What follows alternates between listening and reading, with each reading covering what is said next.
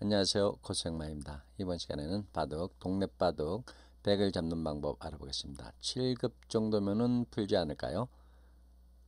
그리 어렵지 않은 문제죠. 동네에서 이런 모양이 나왔다. 과연 어떻게 둬야 될까요? 쉽게 보시기 바랍니다.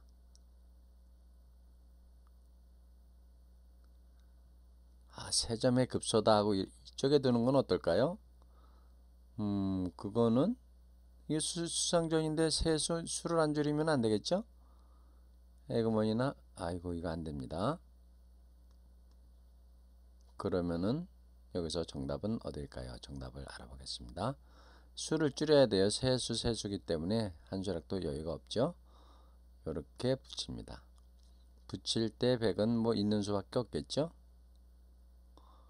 그때 이렇게 젖히면은 100이 꼼짝을 못합니다. 단수 쳐도 이으면서 단수 이렇게 단수 쳐도 이으면요 나올 데가 없죠 그러면은 이렇게 둘 때 이쪽으로 나가면 어떻게 될까요 이거는 단수 치고 이을 때 같이 이어주면은 100이 예, 나갈 데가 없죠 그래서 이렇게 1로 붙이고 100 이때 3으로 젖히면은 100이 꼼짝없이 잡히게 됩니다 이렇게 해서 동네바둑 7급 수준의 문제 한번 풀어봤습니다.